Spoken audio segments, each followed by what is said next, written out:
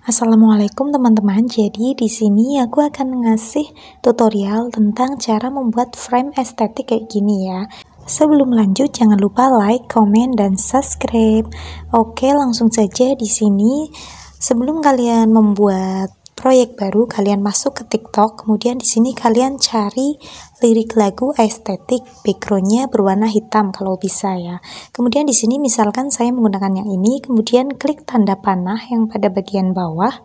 Kemudian di sini kita salin tautan. Jika sudah kita masuk ke Chrome kemudian kita klik di sini kita ketik Snaptik Kemudian klik yang paling atas, kemudian di sini kita tempelkan tautannya, kemudian download. Nah, jika sudah terdownload, kita masuk ke aplikasi CapCut, kemudian tambahkan proyek baru.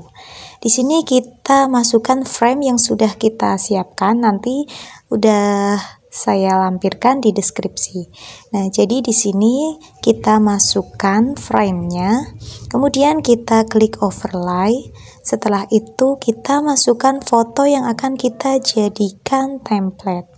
Di sini kita memasukkan tiga foto, misalkan ukurannya kurang sesuai, bisa kita crop atau kita pangkas kayak gini, kita perkecil gambarnya. Kemudian kita masukkan foto yang kedua.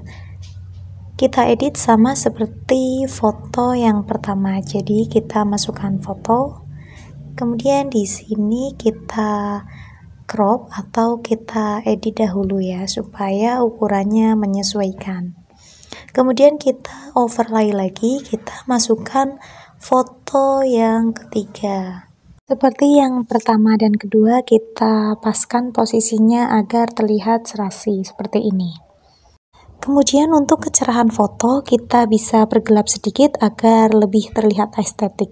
Jadi di sini untuk semua foto kita sesuaikan. Kemudian kecerahan kita uh, bergelap seperti ini. Ini sesuai selera ya. Jika sudah, kemudian pada bagian akhiran kita hapus lalu di sini tambahkan audio, kemudian klik ekstrak. Lalu masukkan video yang sudah kita download tadi di TikTok, kemudian impor suara saja. Kemudian kita perpanjang untuk framenya sampai akhir musik. Kemudian kita lakukan hal yang sama ke overlay ketiga foto ini. Kita panjangkan semuanya.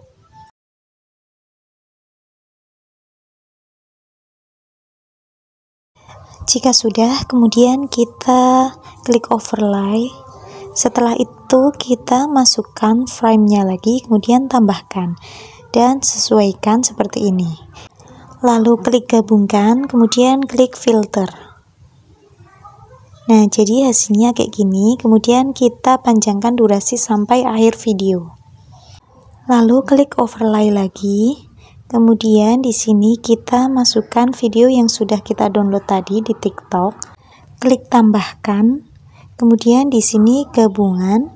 Kemudian klik filter. Lalu kita sesuaikan. Tulisannya akan kita taruh di sebelah mana. Bisa kalian taruh di atas, di bawah, atau di samping. Bisa kalian berbesar dan berkecil seperti ini sesuai selera kalian masing-masing. Kemudian untuk suara kita nolkan volumenya. Soalnya tadi di sini sudah kita kasih musik di awal ya. Jika sudah, tinggal kita masukkan efek video. Di sini saya menggunakan efek retro ya. Jadi biasanya untuk membuat estetik itu biasanya kita menggunakan retro. Jadi di sini kita pilih yang kebisingan dua atau sesuai dengan selera kalian masing-masing. Jadi di sini aku pilih yang ini. Kemudian kita klik checklist.